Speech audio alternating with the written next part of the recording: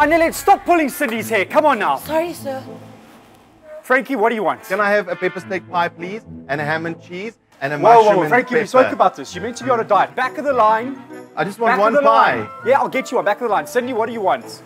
Hi, sir. I'll have two Lay's. One for me, one for you. Oh, what a sucker. Annette, be nice to Cindy, please. Cindy, I'll get it for you. sir. Annette, what would you like? I'll have a quinoa chicken salad and I'd like uh, two omelets with Annette, only egg whites. This is school, not Tashas. What do you think this is? An Ivel 7 Breakfast Club school invasion. Come on. Well, duh. Who's this guy?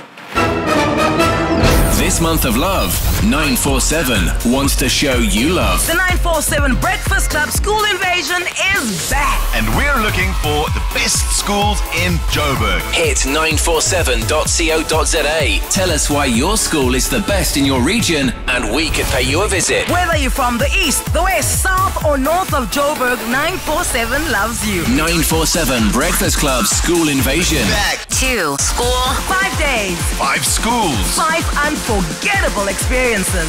More on 947.co.za.